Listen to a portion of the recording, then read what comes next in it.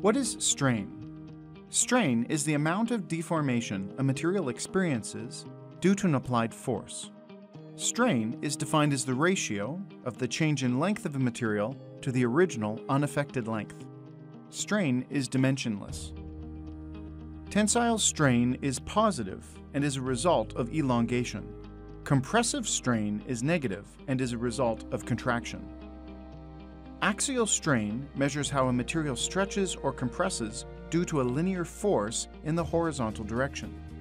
Bending strain measures the stretch on one side of a material and the contraction on the opposite side due to the linear force applied in the vertical direction.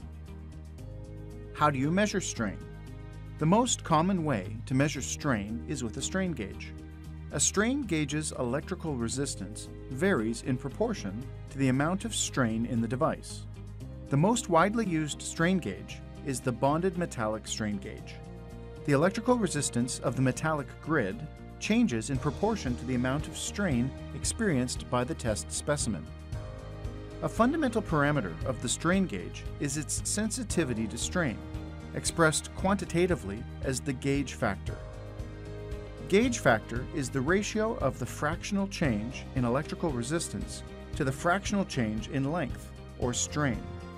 You can obtain the actual gauge factor of a strain gauge from the sensor vendor or sensor documentation.